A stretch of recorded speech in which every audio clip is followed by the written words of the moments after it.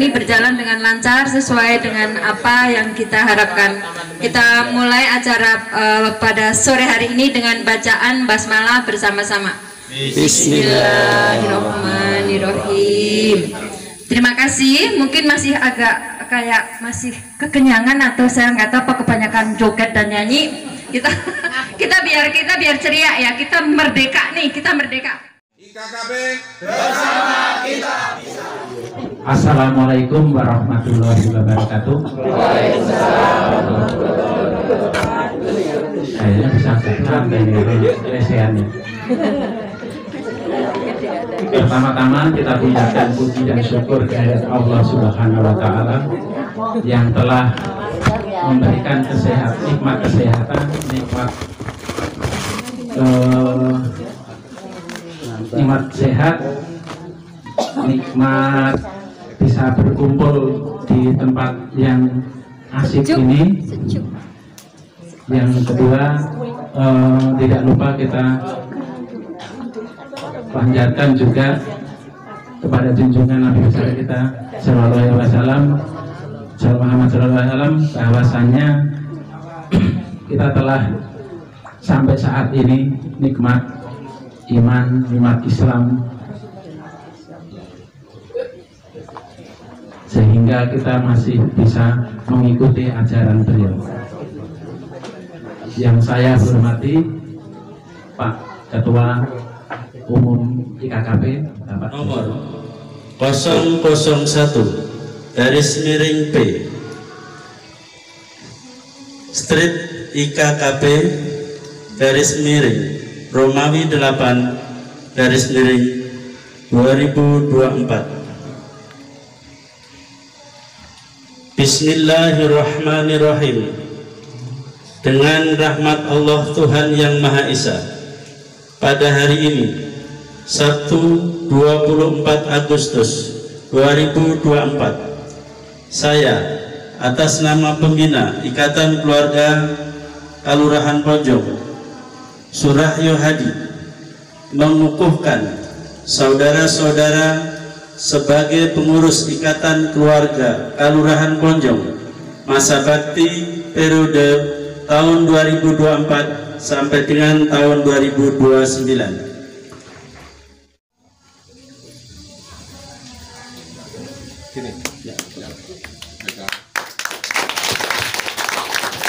Ya, demikianlah penyerahan naskah yang sudah ditandatangani oleh Bapak pembina kita, Bapak Suraya. Terima kasih. Assalamualaikum warahmatullahi wabarakatuh. Waalaikumsalam warahmatullahi wabarakatuh. Saya mengucapkan banyak terima kasih kepada Pak Omina yang hadir hari ini dan juga teman-teman semuanya yang hadir dalam pengukuhan Ketua Umum atau pengurusan 2024-2029 seperti yang saya sampaikan waktu di pemilihan pertama di SMK 63 kemarin bahwa saya bersedia menjadi ketua umum lagi dengan catatan adalah dibantu. Artinya dibantu adalah dibantu dalam menjalankan roda kepengurusan ini. Ya itu salah saya. Dan semoga dengan adanya pengurusan sekarang ini ya insya Allah lebih solid lagi bukannya uh, dia keren jelek tapi ini adalah kita mengemban sudah beda lagi. Amannya beda lagi. Kalau kemarin itu adalah mengumpulkan belum bisa sekarang udah kumpul belum bisanya. Tinggal bagaimana memaintain, memanage memelihara ini biar tetap solid. Assalamualaikum warahmatullahi wabarakatuh. Alhamdulillahirrahmanirrahim Pertama-tama mari kita panjatkan puji dan puji syukur kepada Allah Subhanahu Wa Taala yang telah memberikan kita nikmat sehat, nikmat iman sehingga pada kesempatan subuh ini kita masih berkenan untuk uh, bersama-sama mengikuti subuh jamaah yang insya Allah akan dilanjutkan tauziah subuh yang akan disampaikan nanti oleh Bapak Haji Moh Haji Tukimin.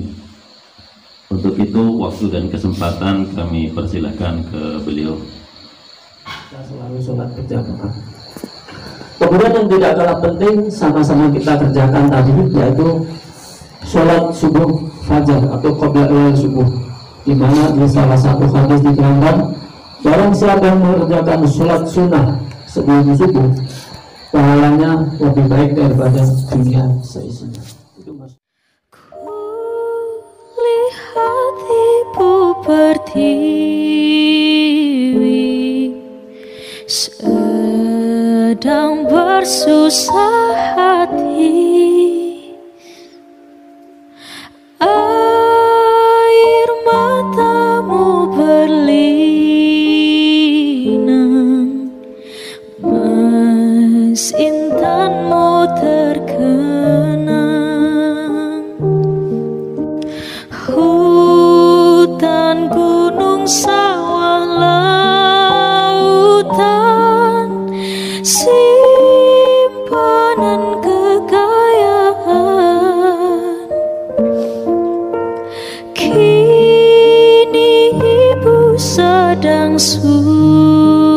susah